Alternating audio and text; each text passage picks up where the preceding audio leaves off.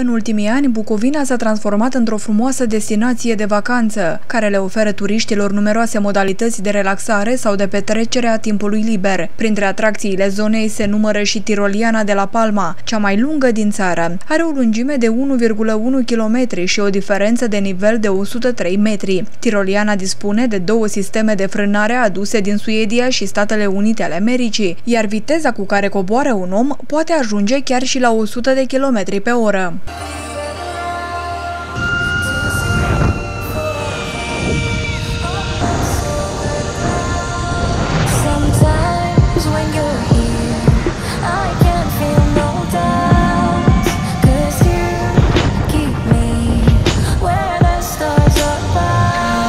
Distracția continuă în țara Dornelor, unde sunt 380 de kilometri de trasee montane pe Suhard, Giumalău, Căliman și Munții Bistriței. Cicliștii au la dispoziție 250 de kilometri de trasee desfășurate atât în mediul urban cât și în mediul rural. Salbamontiștile recomandă celor dornici de drumeții ca înainte să se pornească la drum să treacă pe la biroul de informare turistică din Vatra Dornei pentru a afla traseul potrivit, ținând cont de pregătirea fizică. Tot la Dorna se pot organiza excursii ecvestre, chiar și de trei zile, cu posibilitate de campare. Cei care se încumetă pot să facă și easy rafting pe Bistrița.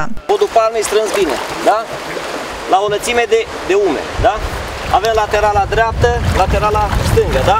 Dreapta, stânga, dreapta, stânga, dreapta, stânga, da? Acum la dreapta înainte, cei din dreapta bagă pe în față și o scot în spate, da? De înainte.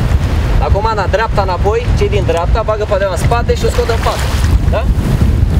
Acum da, dreapta înainte, stânga înapoi. Dreapta de înainte, da? Iar cei din stânga bagă pe în spate, într-o de spate, da? Și oprim un bolovan să intrăm într-o... Nu ce în cascadă să putem trage la mal dacă vrem, da? Cei care nu au rău de înălțime pot să încerce să traverseze râul Bistrița pe cabluri. Distanța este de 62 de metri și se traversează la o înălțime de 4, 5, 6 metri față de albia râului. Este foarte simplu, dar uh, totuși presupune puțin echilibru, uh, mai ales dacă ești puțin ajutat de colegii de pe margine și scutură bine corzile, s-ar putea să ajungi chiar până în apă dacă ai o greutate de 120 de kilograme. How was it, Gail? It, it was it was actually okay. I was sort of watching for the halfway mark, and once I got over the halfway mark, I thought I can do it. and you did.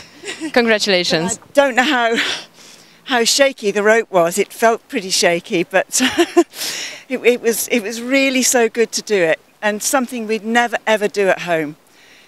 in the southwest of England. Cei pasionați de alpinism pot să escaladeze rarăul. Pofticioșii au la dispoziție o paletă largă de restaurante cu o ofertă culinară impresionantă.